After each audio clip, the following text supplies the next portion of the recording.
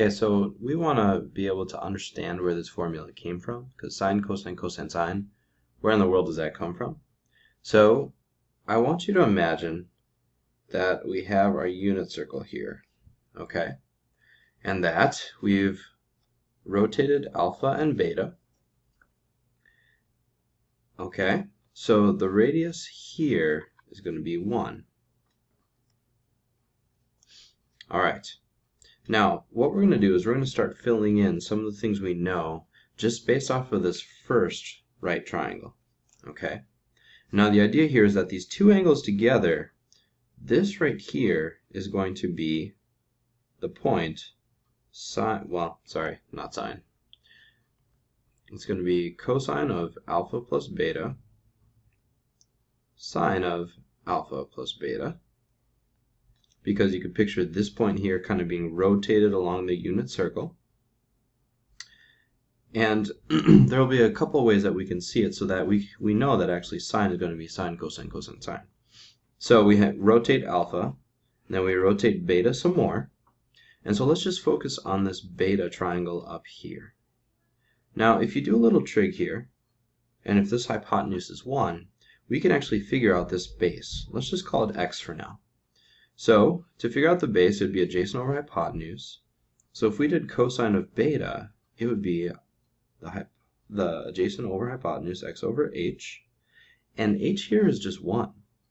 So what we're really seeing here is that this isn't x. In terms of beta, this is actually just cosine beta right there. Okay. And now the same thing is going to happen here with the opposite side. If you do sine equals opposite over hypotenuse, you'll find that this is actually sine of beta. Okay? Now, we can actually use this hypotenuse now and we can figure out the adjacent side and the opposite side. Doing kind of the same thing, let this be x. Then you're going to set up something in terms of alpha. So this would be cosine of alpha equals adjacent over hypotenuse which would be x over cosine beta. Now if I multiply by cosine beta on both sides, x is actually going to be cosine alpha cosine beta. Okay? Now if you do something very similar here, instead of cosine, let's think about sine, and we want to figure out y there, we can set up sine of alpha equals opposite over hypotenuse. So we have y equals cosine of beta times sine of alpha. Okay, so let me erase that and write that in here. This would be sine alpha cosine of beta. Okay, so going this far, I think you can kind of see now where the cosine cosines, where the sine cosines are coming from.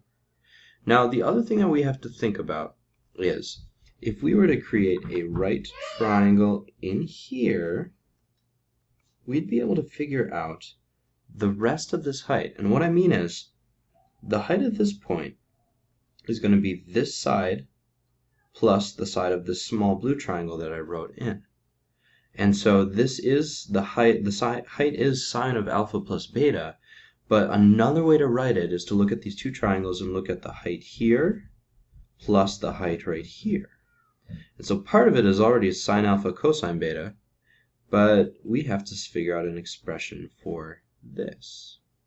Now you, you'll notice here that this little blue triangle, if I write it to the side, is actually sine of beta, and it's a right triangle.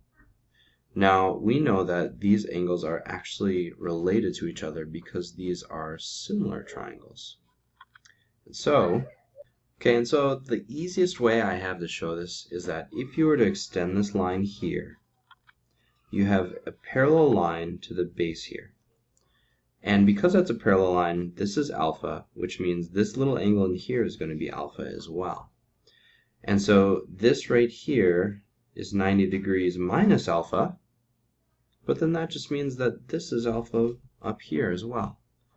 And so it's it takes a little bit to get in your head, but I think you can convince yourself that in this triangle, this is actually alpha. Okay, now we can set up a sine and cosine to figure out these sides. Let's let this be x.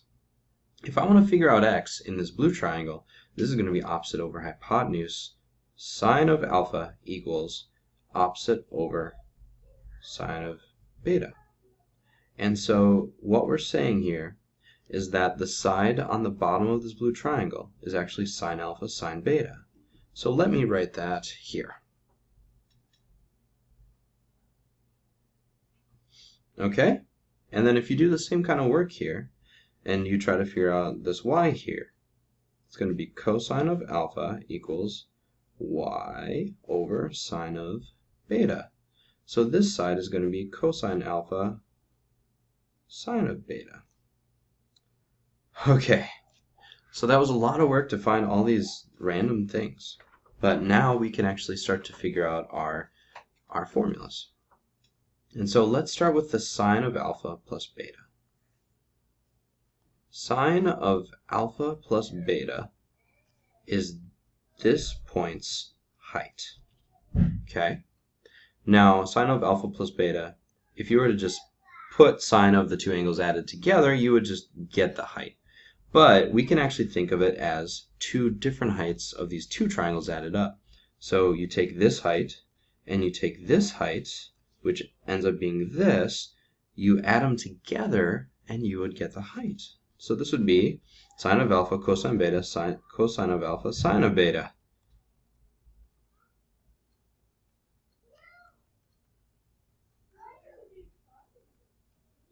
Okay, and then if you want to do the same thing for cosine, just remember that cosine is distances left or right. Cosine of alpha plus beta. Now going to be the entire width here. Well, the width up to this point right there. And so you'll notice something. You're going to be going along here. Cosine alpha, cosine beta. But to get to the point, you actually have to backtrack a little bit. And that little bit is right here, the base of this small triangle, which is sine alpha sine beta. So you got to subtract sine alpha sine beta. Okay, so I'm showing this to you guys because I was never, it was never proven to me why this worked. I just used it. And so there is a way to prove it this way. There, there are some other cool proofs out there. There's ones involving matrices that are, it's especially beautiful, but we don't really learn matrices anymore. So I hope you at least get a sense for why the formulas are the way they are.